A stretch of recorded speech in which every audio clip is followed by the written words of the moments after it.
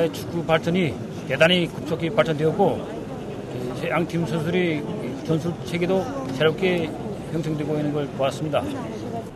어, 지난 시기보다 축구에서 많은 그 예, 경기 운영에서 획기적인 그 변화가 있다는 걸 보게 됩니다. 이거. 이 오늘 특히 그 월미도하고 매양산 경기에서 보면 예상 외로 월미도 팀이 높은 정신력과 경기 조직과 결합해서 아주 오늘 그 많은 인상을 줬습니다.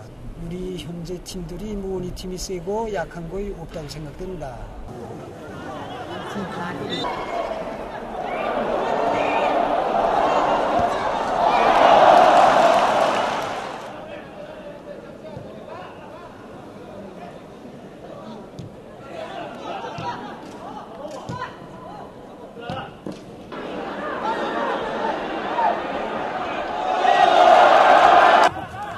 오늘 이거 풍치 수려한 모란봉에 와서 어, 축구 경기한 걸 보니까 정말 최근에 우리 그 전국적으로 온 나라가 체육 열풍으로 들끓을 때 우리 선수들이 아이고 축구 기술이 훨씬 높아진 게 알립니다.